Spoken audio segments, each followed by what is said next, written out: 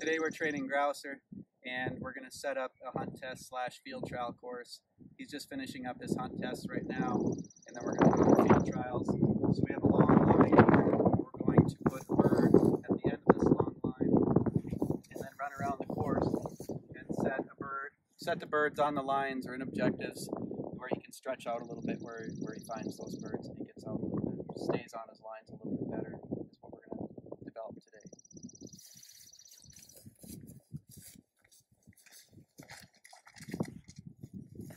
So, place the bird, place their head under their wing is an easy way to do this, and then lay them down, and then they go to sleep. And then you wake up in a while, and should be close by.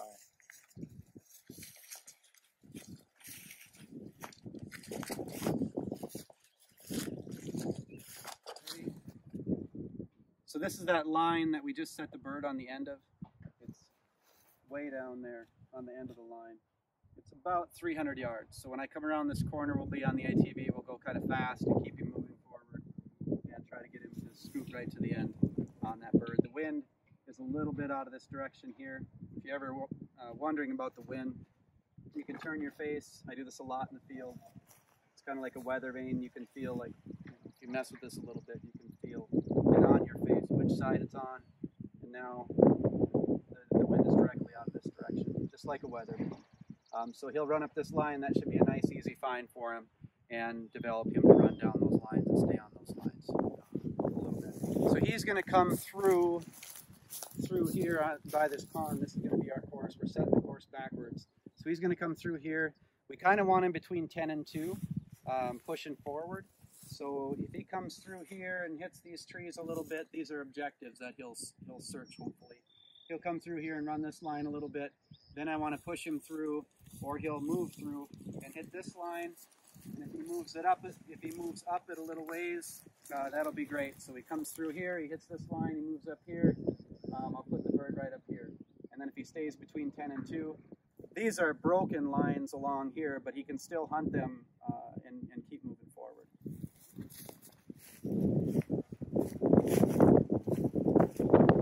Here's a nice place to find a bird. To run away on you. Same thing, you take the head, tuck it under the wing, and sleeps. And make that look a little bit easier than it is. Um, just mess with the bird a little bit, wait till it kind of settles down. So here's a spot here. I'll put a little bit of cover over top of them. And then he should stay there. You're making a little nest for him almost. I'm not worried about my scent.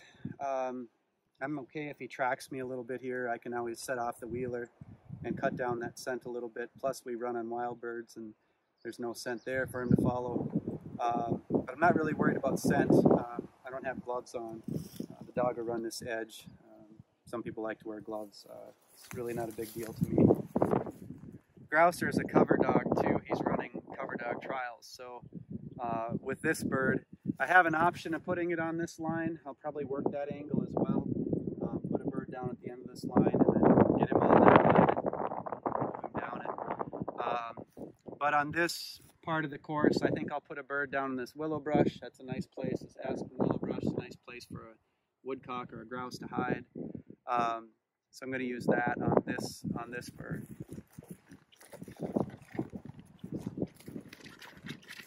The wind is wind is out of this direction, so um, he's got to get down past this cover to find this bird. Uh, he may also track me. If he tracks me, then he's going to hit this wrong because the wind is at, our, at, at my back.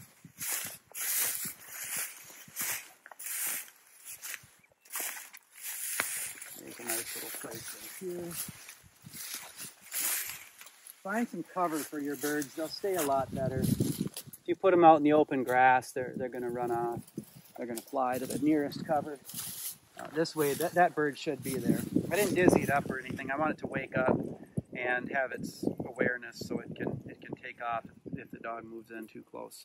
Grouser's pretty good. He, he, he kind of sticks them, he points them where he smells them.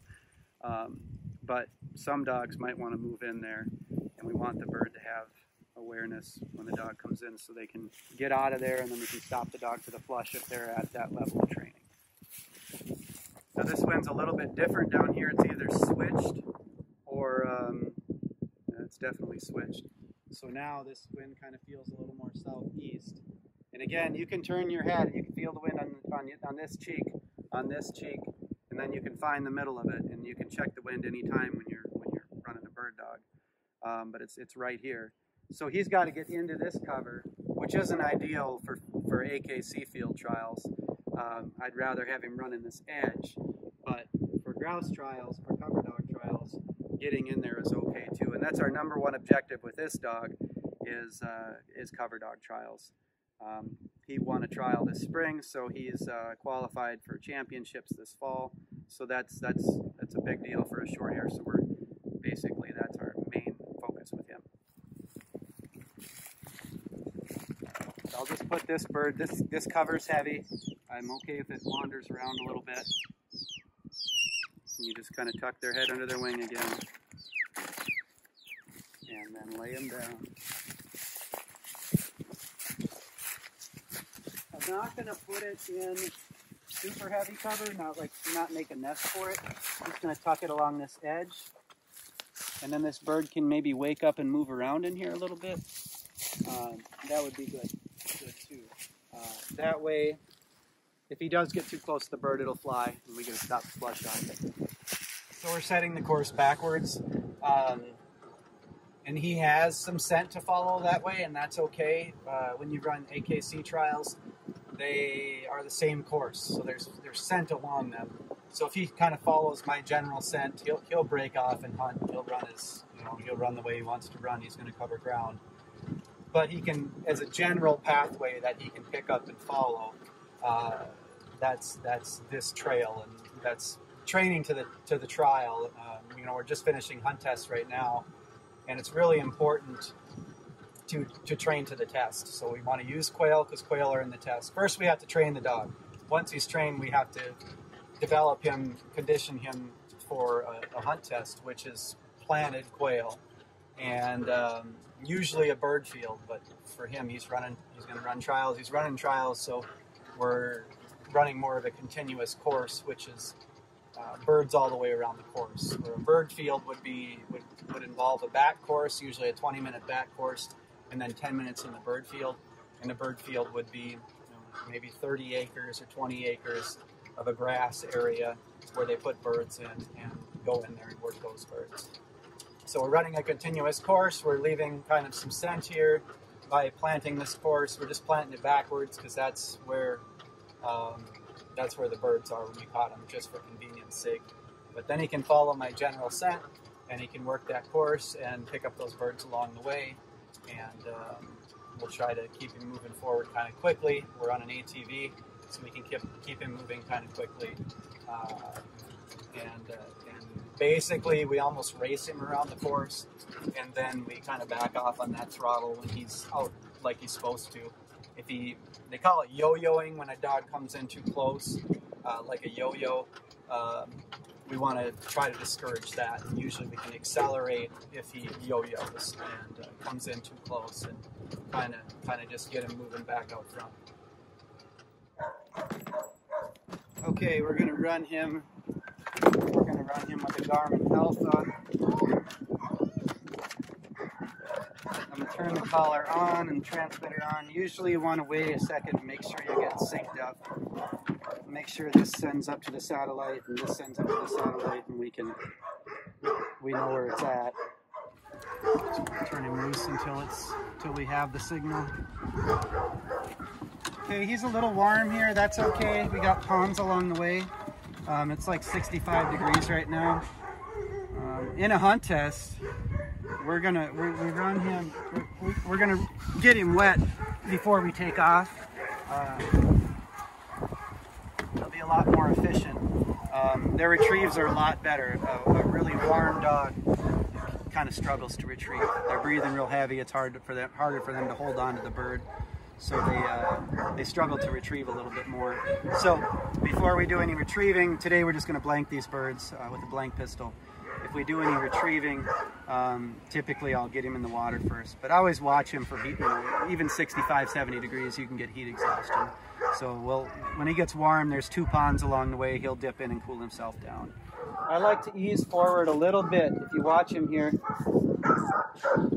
ease forward kind of slow. Watch his tail and his, mannerism here. They almost go on point, so you can you can try to trigger this before you cast them off.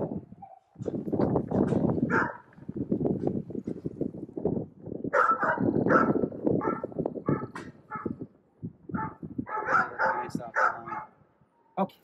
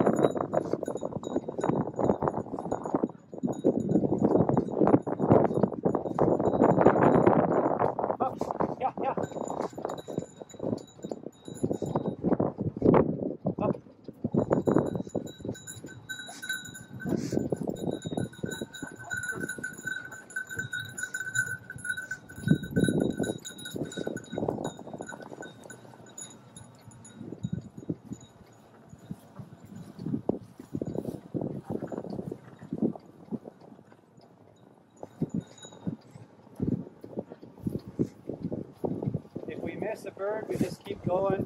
We don't want to bring them back to birds. That's not going to help you move forward and stay forward. There, we set back on the throttle. Good. But if he's getting in near a bird, I don't. We'll be quiet here. Up.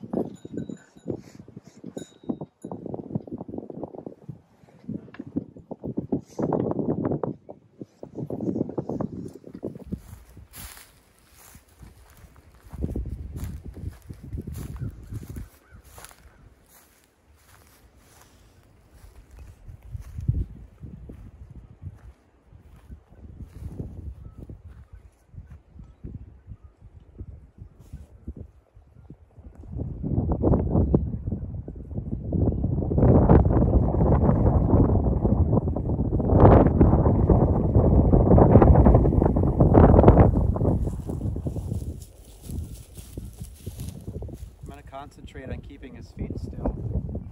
He's developed to a, you know, he's a pretty natural bird dog, but he's developed to the level where, you know, he'll be able to hold the bird. I don't want to mess him with him much. I don't want to mess with his style.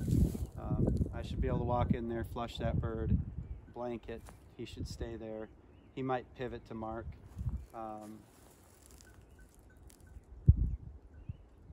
I'm really going to concentrate on his feet know, keeping his feet still. So I have my collar ready. And set it kind of low. And then we only use nicks for whoa. Uh, here, heel, and kennel, we use tone and continuous. For whoa, we just use a nick to reinforce that if he moves.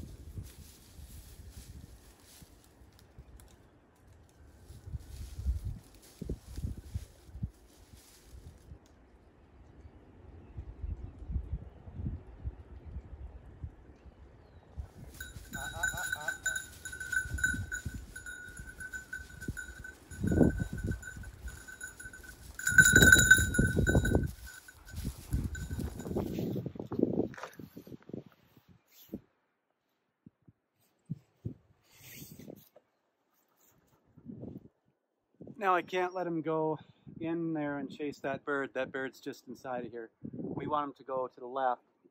So I'm going to angle this to the left a little more. That's where our course goes. Try to ease forward enough till he kind of goes on point. Uh, you know, look. I like him to look nice when you cast him off. We're working on that. On it, I guess. Okay. Hey, hey, hey!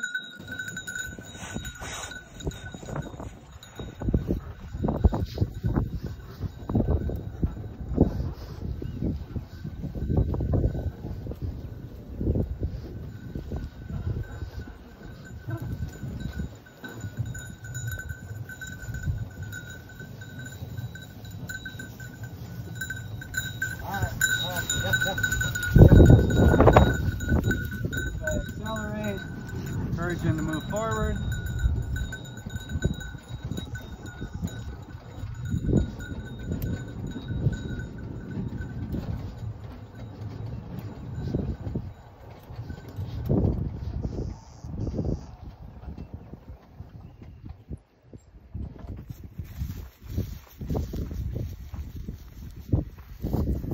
Ideally, you have your dog to the level. You don't have to use the collar a whole lot.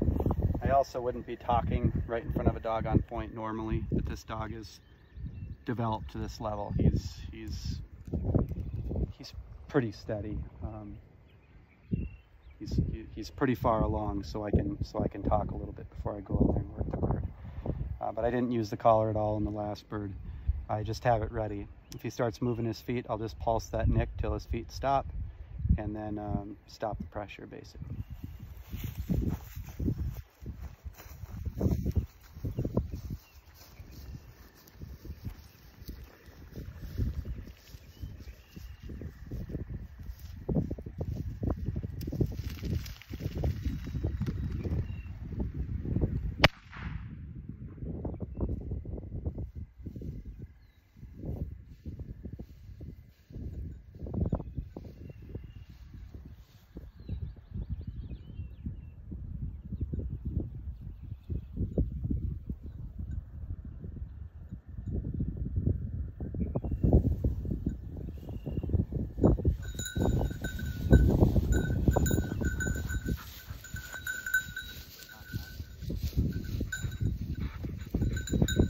a little petting after the bird, some positive reinforcement. Food, praise, and play are your three main means of positive reinforcement. Petting, praise works good uh, right after a bird like that. Uh, yeah, did a nice job. Okay. Hey, hey, hey, hey, hey, hey, hey, hey!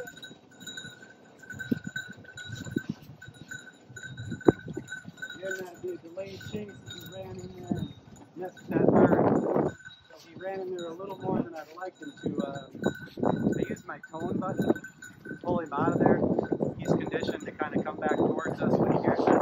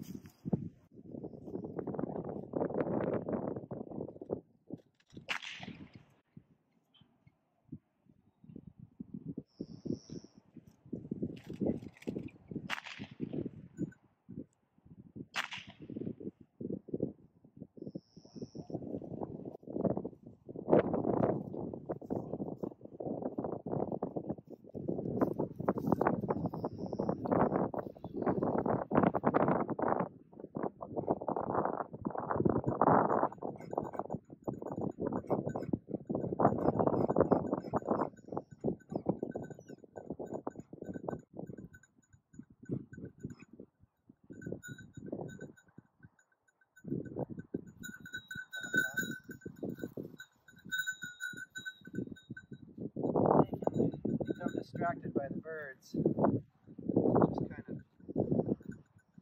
on test field trials. A lot of times there's a lot of stuff going on. Sometimes there's another dog coming to back. Uh, whatever. There's always a lot going on. The dog has to stand for a while after a bird sometimes. Uh, so I try not to rush off. Uh, try to have them stand nice and still. If they move, just put them back. They're very place oriented. So put him back right where he was. Uh, let him stand there a little bit. A little bit of calm praise. You can see this dog, you don't have to get excited with them. They're excited enough to chase this bird. So it's all about when you put your hands on them, you want them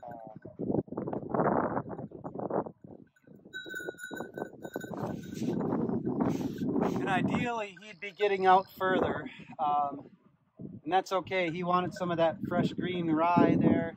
He messed around. He wanted to pee a little bit. Don't give him any time to do that. Just if you're on foot, you almost you basically got to run. If you can, just run and get it moving, and, and kind of race around the course. Um, yeah, don't give him time to bobble if you can. And ideally, be getting out further, but that's okay. We're developing him to move forward, uh, find the birds, handle them and that's a lot of what a field trial needs to be. And they got to look good. Uh, you look good on points, so you don't want to mess up their style or their staunchness. Careful with uh, handling them around birds.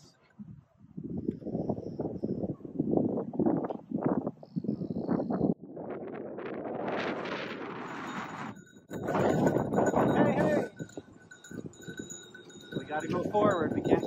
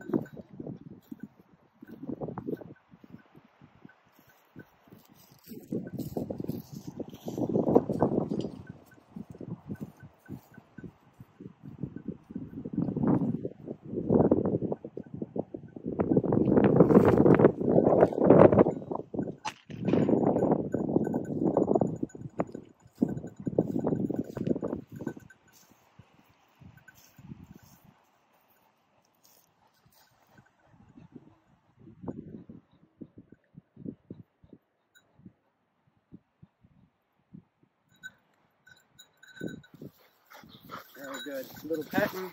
Good job. Put it right in the crate because we're at the end of the line. You could have ran a lot bigger there, but that's okay. We're, uh, we're developing him to move that way. And then when you get him in a trial or a hunt test or uh, some of those situations, they're just more adrenaline flowing through the dog. So they run a lot bigger. They get moving a lot faster. They get to be more, yeah, just they run a lot bigger and a lot faster. And when we're on an ATV, we can kind of keep up with him too and keep him moving forward, not give him a chance to mess around along the way. Uh, the way I walked in on that last bird, that's kind of how you want to do it. If you can get to that level where the dog points and holds, you go straight in, flush the bird. I always keep my body turned so I can see the dog in my peripheral vision. You, you just try not to take your eye off him.